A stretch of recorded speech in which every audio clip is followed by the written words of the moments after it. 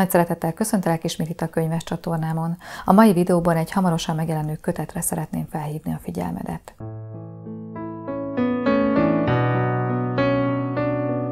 2022. március 16-án jelenik meg a 21. század kiadónál Haász János Apám óriás lesz című kötete.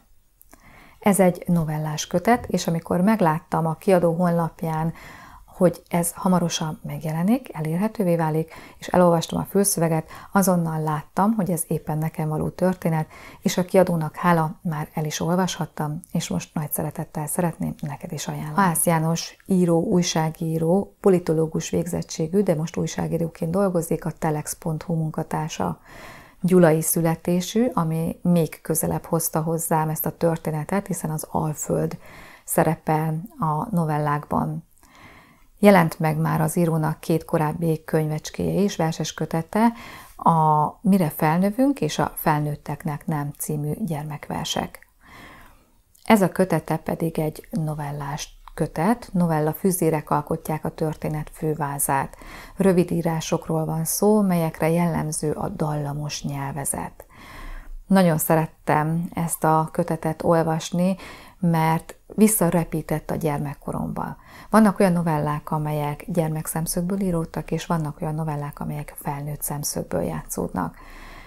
Felidézte bennem a saját gyermekkoromat, ahogy olvastam a történeteket, és nagyon jó volt a 80-as, 90-es évek szükséges kellékeiről olvasni, úgy, mint amikor hétfőn nem volt adás, vagy a cigirágó, az üveggolyók, a különböző játékok, amiket játszottunk, a könyvek, amiket olvastunk, a rejtőkönyvek, a delfin sorozat.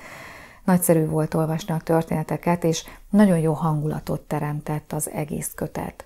Voltak olyan novellák, amelyek kicsit szomorkásabb hangulatot idéztek elő, komolyabb témát taglaltak, és voltak olyan történetek, amelyek kacagtatóak voltak, és a gyermekkorunk furcsaságait világította meg előttünk, vagy a gyermekkori háborúzások történeteit. Egyszerűen nagyon jó volt olvasni ezeket.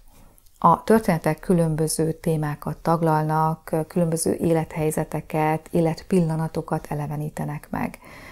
Nagyon szerettem, hogy nagyon sok témát felvonultatnak az írások, ahogy említettem, komolyabb, például társadalomkritika-szerű történeteket is megjelenít, a barátságot, a családi egység fontosságát, a menekültek témáját, a tanulás fontosságát, és nagyon jó volt a történetekben, hogy amikor olvastam, hogy mi történik gyermekként, akkor egy picit az író előrevetítette, hogy és mi lesz majd, amikor felnőtt korukba érnek ezek a gyerekek, emberek, és hogy akkor milyen élethelyzetük lesz.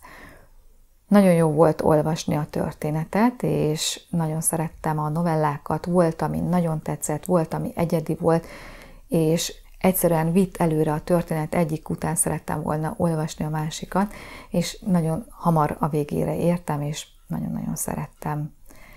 Erről a kis kötetről Csabával fogunk beszélgetni hamarosan, egy kicsit bővebben, és Remélem kedvet csinálunk azzal a beszélgetéssel, és ezzel a videóval is, ahhoz, hogy elolvasd ezt a könyvet, mert szerintem érdemes, főleg a 80-as években voltál gyermek. Meleg szívvel ajánlom tehát ezt a kötetet elolvasásra, és nagy szeretettel várlak a kedvet csináló beszélgetésre szerdán, amikor Csabával egy kicsit bővebben beszélgetünk erről a kötetről.